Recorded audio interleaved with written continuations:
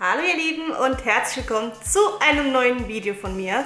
Ich habe mir gedacht, ich habe gerade so ein tolles Buch beendet und ich habe auch bei Instagram schon fleißig darüber geschwärmt, wie lustig es doch ist, dass ich euch einfach heute mal eine Rezension darüber abdrehe, weil ich es euch wirklich sehr, sehr, sehr, sehr gerne ans Herz legen würde. Und zwar spreche ich von Tinderella von Rosie Edwards.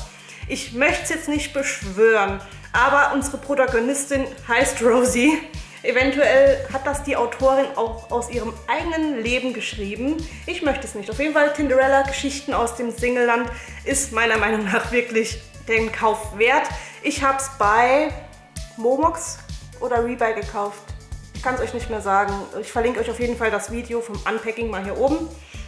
Ich weiß nicht mehr, bei welchem Kauf es dabei war. Wo ich in der letzten Zeit ja wirklich schon sehr, sehr langsam gemacht habe und mir gesagt habe, du baust jetzt erstmal deinen Sub ab, bevor du jetzt noch tausend weitere Bücher kaufst, weil irgendwann ist das Regal auch voll. Ihr habt ja meine Bookshelf-Tour wahrscheinlich gesehen. So viel Platz ist da nicht mehr und da muss einfach entweder ab und an ausgemistet werden oder der Sub abgebaut werden und dann ausgemistet oder aussortiert werden.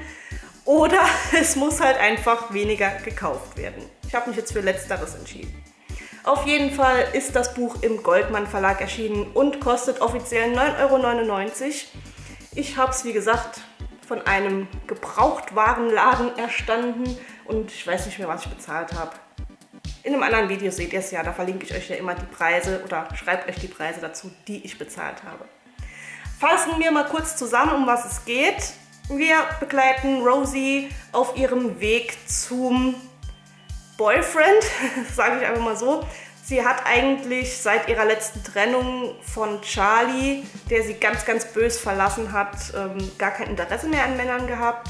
Aber irgendwie ändert sich das schlagartig, als eine Freundin ihr nach einem miesen Date einfach vorschlägt, melde dich bei Tinder an, da gibt es Männer in Massen und es ist wie Shopping nur für Männer. Gesagt, getan, sie meldet sich an und hat ein lustiges Date nach dem anderen. Also sie lernt wirklich so viel merkwürdige Typen kennen. Ich meine, ich war jahrelang nicht Single, ich habe die Tinder-Erfahrung eigentlich nie gemacht und äh, ich weiß auch nicht genau, wie es auf dem Datingmarkt heutzutage so zugeht.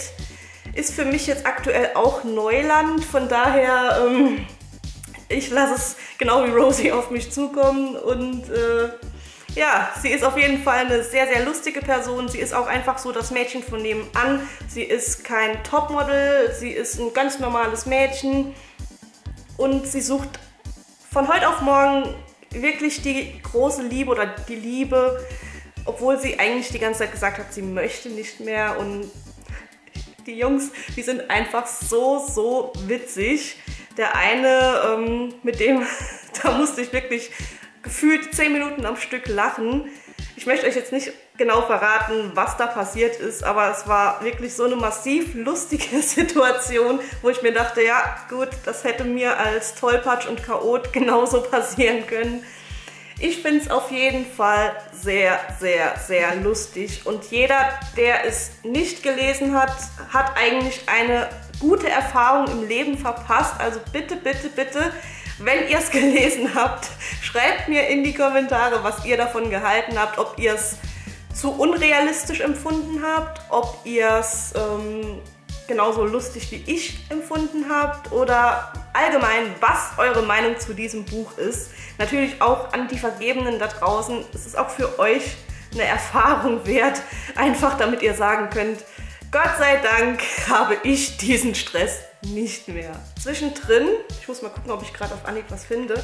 Ah, genau sind hier auch so Sprechblasen abgebildet, die dann ihre Nachrichten an diverse Leute abbilden. Finde ich mal eine schöne Überraschung, dass es nicht einfach nur Text ist, sondern dass auch mal zwischendurch so zum Verschnaufen, zum Entlasten der angestrengten Augen auch mal sowas mit drin abgebildet ist. Hatte ich bisher in keinem Buch, glaube ich aber hat mir sehr gut gefallen und auch der Schreibstil ist einfach sehr, sehr, sehr lustig. Sie schreibt einfach wie die Leute frei von der Leber reden würden oder wie sie frei von der Leber reden würde. Und es ist einfach sehr angenehm zu lesen. Man ist so richtig im Leseflow drin. Man, ich finde, es war null anstrengend. Man hat einfach das flüssig weiterlesen können und ich dachte jedes Mal, wenn ich das Buch zugeklappt habe, weil ich dann müde war oder weil noch irgendein Termin anstand, jetzt warst du gerade so drin, es war gerade so lustig und jetzt musst du aufhören. Aber man soll ja bekanntlicherweise immer dann aufhören, wenn es am schönsten ist. Deshalb beende ich damit, mit diesem tollen, klugen Satz auch mein Video.